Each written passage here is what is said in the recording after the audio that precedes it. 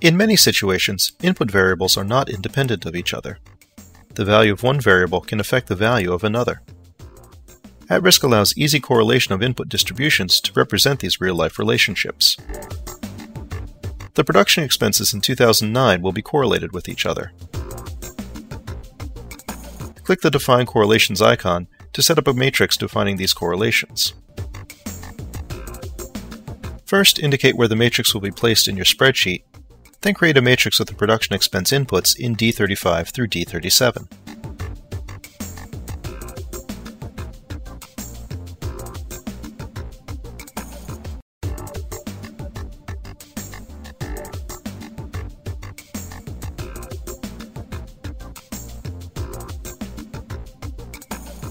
We'll define our correlations using the scatterplot matrix.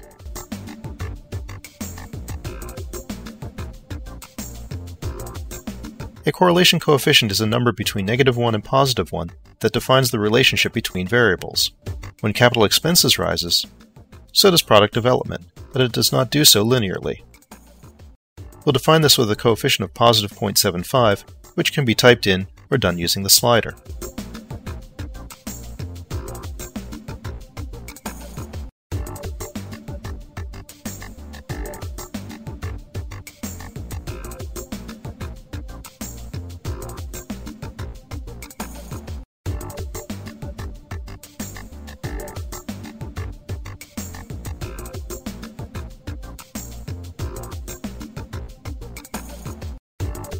Click OK to define the correlations in the probability distribution formulas and to write the matrix to your spreadsheet.